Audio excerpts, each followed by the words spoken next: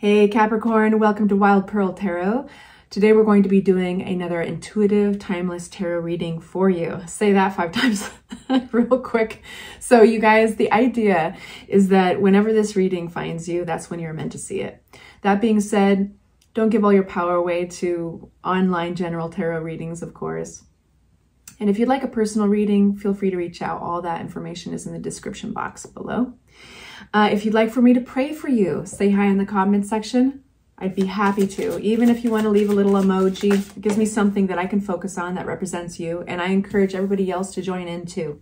This area is only for positivity and light. Nothing else gets in. Just want to say that. We've got our first oracle card. We're going to get one more and then we're going to get your message from tarot for my Capricorns. All these uh, decks that I'll be using today have already been prayed over. They've already been pre-shuffled. We have a pretty strong message here. Detox your friendships. Your abundance flow is being affected by the people with whom you're spending time. So be discerning about your associations and relationships. Choose to be with the people who are inspiring and generous and supportive to you. And then we have hold the highest vision for your life. You now possess the ability to move past any hurdles. It's funny, Sagittarius just got that. Um, yeah, moving past hurdles so far is the theme. Let's just see what tarot has to tell you. What is going to be useful for my Capricorns at the time of seeing this? Please make it clear, Spirit. What is going to be most useful for my Capricorns? Cards are flying out like crazy for you. So we only take cards that fly out on their own. If you've been to my channel before, you know the spiel. But the idea is flow, right? And we're having a conversation with tarot.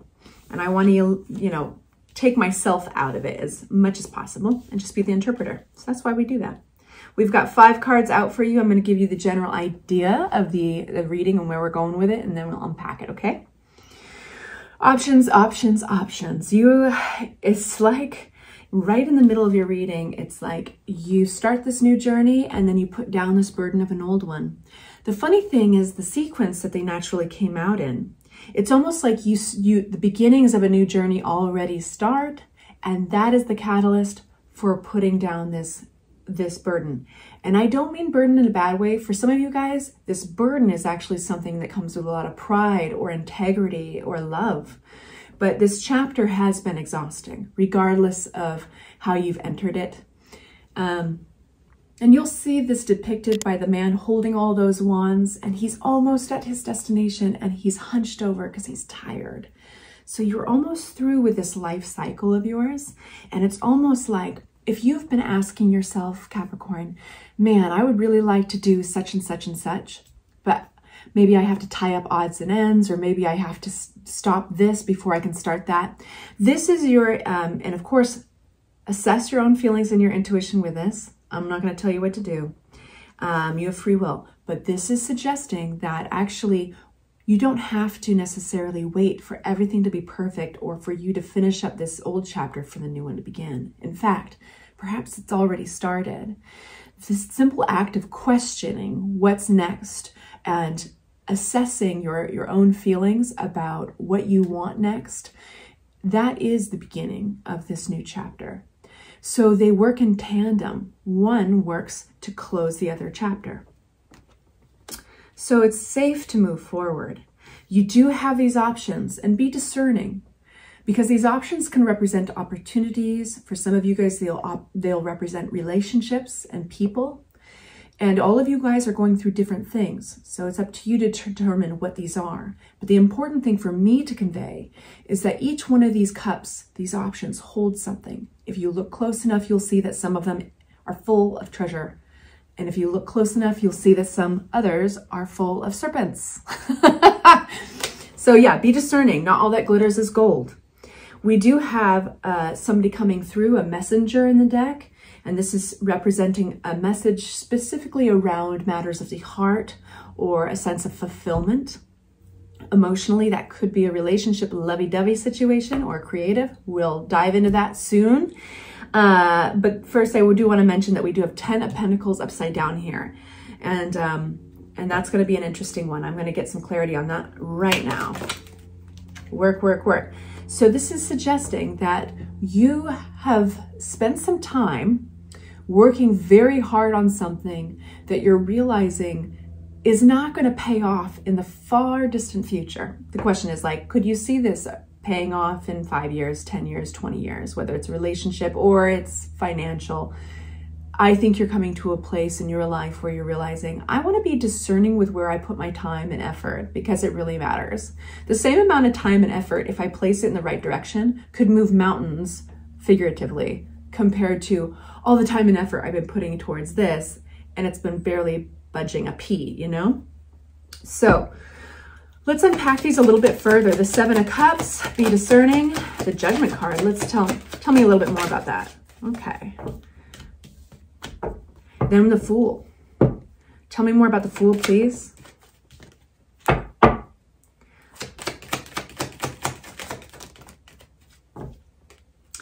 Tell me more about the Ten of Wands, please, for my Capricorns. Wonderful. Wow, wow, wow. Interesting feeling I got from that. The Ten of Wands.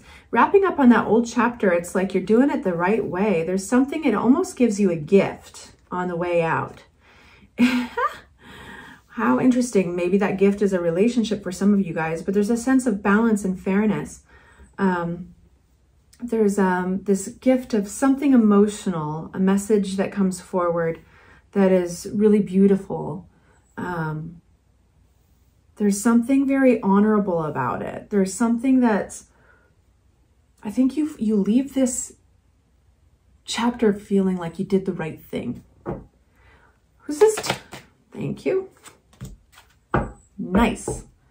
Tell me more. I can barely get the words out. Knight of Cups. Wants to say a lot about the Knight of Cups. Who is this Knight of Cups? Okay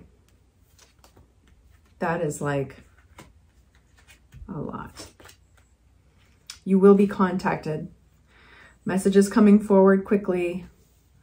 I will uh, need to come back to that. That's epic. All right. So, you know me, I like to have kind of the broader scope in your readings. Just getting out all of, wow, you got Page of Cups on top of Page of Cups. Um, I'm tempted to work backwards in your reading and start over here. Remember when I was saying just a minute ago that you have you have experienced putting a lot of work into something that maybe you couldn't see working out for your benefit and stability wise, like being around for you, um, you know, 10, 12, 20 years from now, and you put a lot of work into it. So um, this is a really very valuable perspective. And what happens at this moment of putting a lot of work to kind of, you want things to be balanced, right? You're working hard for things to be balanced. What is this? The Ten of Pentacles. Oh, it's towards family. It's towards happiness and harmony. And you're tired. Okay, I get it. So, but necessity is the mother of invention. And something happens here that you don't expect. The Page of Cups, you got this twice on top of each other. And right in between them, you got the Nine of Pentacles. You can do this on your own. A sense of accomplishment. Um, there's also, there's an independence. Uh, you bring in the fruits of your labor. You do something here on your own that pulls in something fun, playful, creative. It's flowing. It's the opposite of the Ten of Pentacles. Um, and it's due to seeing how hard you can work at this. And when I said, well, what is this that you're working towards, you know, and it's really about something to do with maybe family, loved, supported, what you want to build within your relationships, what you want to build, like, oh, it's starting to rain. I love that. Um, the support around you. So that's what it's talking about. And some of it is literally home, your home. So now we have in the center of your reading, like I said, closing a chapter on something is, in this case, bringing something forward. Um, and there's almost, I think you're gonna, you're going to let this chapter, it really, you got two endings and they're very, they're honorable endings. This is like allowing something just to to end naturally because it's time. But there's a sense of fairness and balance accompanied by it. And then there's this beautiful sense of you've done the right thing and um, it's very interesting almost a, a, fresh love for something a fresh appreciation respect or love for something we have here with this new journey that is starting there might be a little anxiety around reprioritizing your efforts, reprioritizing how you make your money, um, how you even, some of you guys might be shifting money for some reason, um, and maybe even shifting investments. And, you know, I want a, a word on anxiety, the Nine of Swords. It's important to set, to note that like this is that hamster and it's on its wheel. Maybe you're overanalyzing, maybe you've lost a little sleep with this, but give yourself a pat on the back and go easy on yourself because because change is is not easy. If if it was more people would change their lives like that right? People hold on to things that are stagnant and old and sad not because it feels good but because they're familiar. People are naturally we're wired to fear change. So give yourself a pat on the back. This is change happening here and you are allowing it to to happen with grace. Something old is moving out and it's time for a new chapter to move in. Yeah, like this. That's what it looks like. Try it. Okay, so the Seven of Cups, all these options. Ah, it's not subtle energy. So you might feel sometimes overwhelmed by the options. You might feel a little tired of considering the options. But regardless, this is a huge life change. This is a wake up call. This is like you getting a chance to rise up and do something in your life. It's like a, a, a do over, like a start over. And um, it's big. It's big. And yeah, you're doing it, doing it the right way. Now we have, I'm moving this out of the way. This is going to be a longer reading, you guys. If you need to pause it and, and grab yourself a beverage, what have you, but it's going in a good direction, I promise you, because here we have the Knight of Cups. The Knight of Cups is a messenger, and specifically, the messenger is carrying a message of either love or something creative, something that hits you in the heart space and makes you feel fulfilled. Now, um, this person could be, uh, this, this could be a person. Yep. Could be a message, but I think it's a person. Their job, it's important to, to mention, is to kick you out of any kind of disappointment. Like, let me give you an example. This isn't going to apply to everybody, but it's, it's an example nonetheless. This would be that moment where you, you are out sh grocery shopping or running errands and you don't expect it, but somebody walks up to you and gives you a fantastic compliment and maybe flirts with you a little bit or something. And you realize, oh, I still got it. And that's all you needed for your day, you know, and it may never go any further, but it's just enough to put a little hop in your step, a little more confidence, and that there snowballs into more good things, okay? But so Give me a one moment. So this is all where all those cards start flying out.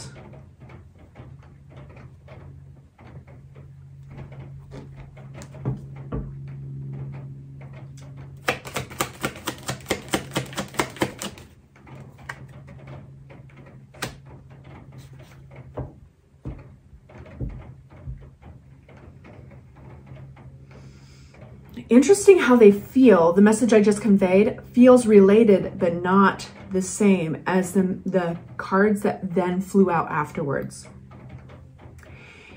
The message I just conveyed is attached to the way you evaluate your recent past. Let me give you an example attached to the last example the way that person, you, you feel pep in your step and you feel all glimmer glam and great when somebody gives you a compliment unexpectedly, that is contingent on how you've been evaluating yourself and your life up until that point. I hope that exemplifies this because what I'm about to tell you is that you're getting these messages. For some of you guys, it's travel, but you're getting these messages quick, right? And it sets into cycle an old pattern possibly with a very familiar person For some of you guys, it's a marriage. That is almost like stop go. Like you could have victory here in communication. You could have successful communications, getting something off the chest, but sometimes it's misinterpreted or misunderstood. So you're getting another opportunity to do that. The way to consider this, just an idea, is consider this conversation or this person in the best light. Give them the benefit of a doubt, of the doubt, because there's definitely the beckoning tarot has for you to consider another perspective. So before anybody jumps to conclusions, before you might say or do what you have done in the past, break the pattern. I encourage you and look at the best case scenario because this is about breaking a pattern. And again, it's all about stuff with a heart. So while these two messages are very important, they're slightly separate. One affects how this messenger, the, the Knight of Cups, affects how you evaluate yourself and what you've been going through. And it gives you perspective to then take to the table for a bigger thing, breaking a pattern in communication with another individual. I hope that this was helpful. I know it was a longer reading. Take good care. Feel free to reach out. Bye. Mwah.